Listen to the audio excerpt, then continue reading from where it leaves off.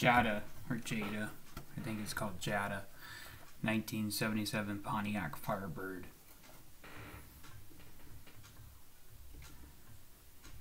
You can see my uh, reflection of my computer screen.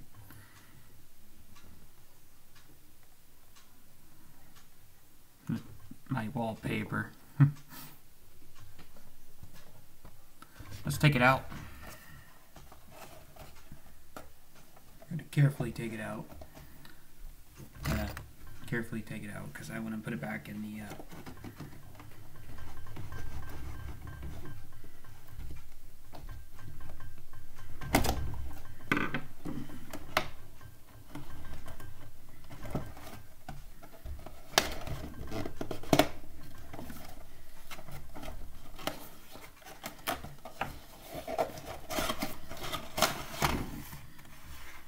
this. This is Smokey and the Bandit. Uh, 1977 Pontiac Firebird.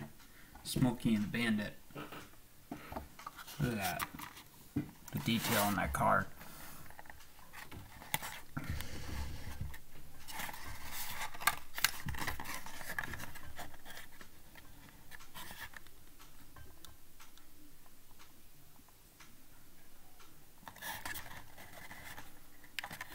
This would be like the scenery for the movie.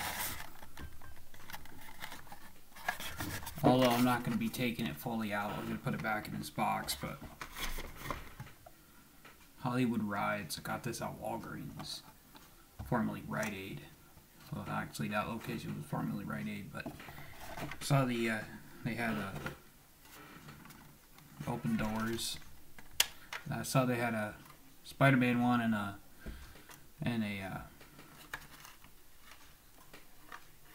Iron Man, but I was gonna I was gonna get one of those, but I saw this. I'm like, nope, I'm getting this. Which they had the Dukes of Hazzard car, the General, but I did not have that one there, unfortunately.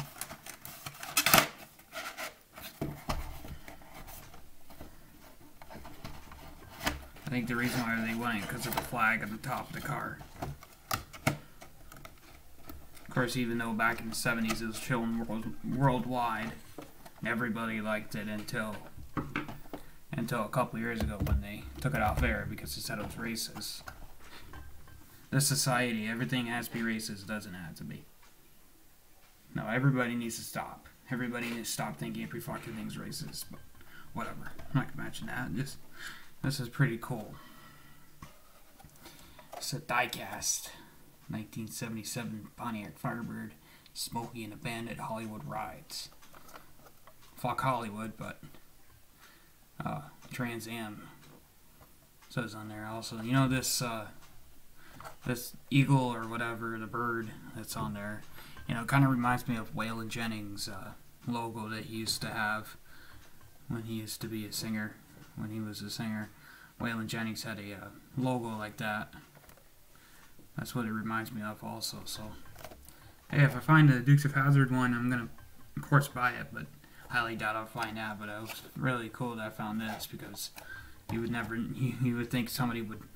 It was only six dollars. Like maybe it was probably like eight bucks because it came. It was like six ninety nine plus tax, so it was probably like maybe seven, seven, eight dollars. But still, I mean, it was a fairly good cheap price for something